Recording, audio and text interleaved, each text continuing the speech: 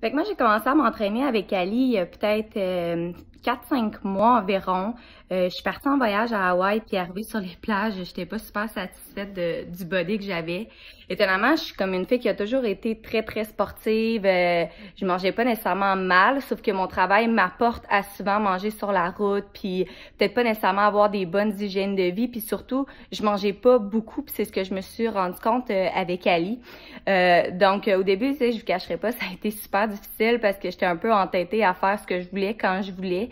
mais aussitôt que j'ai commencé à suivre le plan euh, alimentaire à Ali, c'est ce qui est vraiment débloqué. Tu sais, depuis le début, j'ai perdu 22 euh, livres.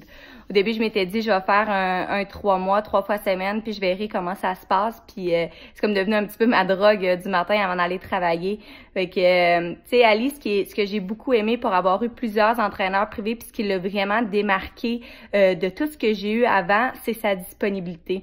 Que ce soit le vendredi soir à 7 heures ou que ce soit le mardi matin à 5 heures, euh, ben peut-être pas 5 heures, là, mais comme un petit peu plus tard, euh, j'étais tout le temps à l'aise de, la texter puis euh, euh, d'y poser des questions. Il y a des trucs, des fois, je savais pas trop si je pouvais prendre. J'allais au resto, étant donné que j'étais en immobilier, je suis comme toujours dans des restaurants à gauche, à droite. Fait que c'était vraiment d'habituer mon hygiène de vie un peu à mon rythme d'entraînement.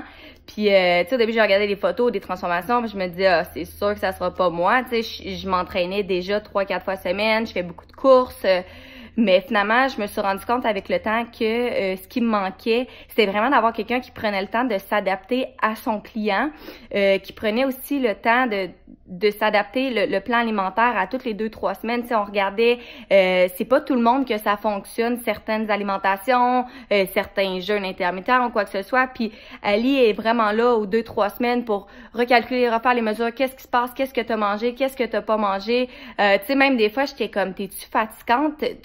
Je fais tout ce qu'il faut faire.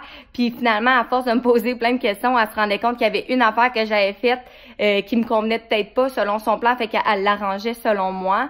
Euh, puis je dirais que euh, c'est vraiment ce qui a fait en sorte qu'aujourd'hui, je suis encore là avec elle, euh, que je fais un petit peu plus de kilomètres de chez moi pour aller m'entraîner avec elle parce que euh, est bonne, mais aussi elle a vraiment à cœur ses clients. Puis on n'est pas des numéros pour elle, on n'en prend pas beaucoup.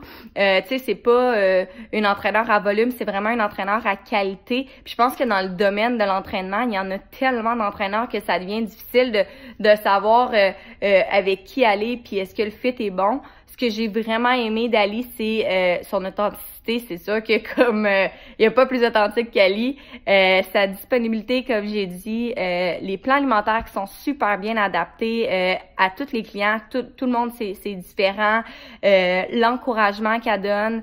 c'est sûr que si vous cherchez un entraîneur qui est là à 100% puis qui est pas nécessairement là juste pour dire oh, moi j'entraîne 35 personnes par semaine, ben Ali c'est la personne qu'il vous faut pour en avoir essayé plusieurs.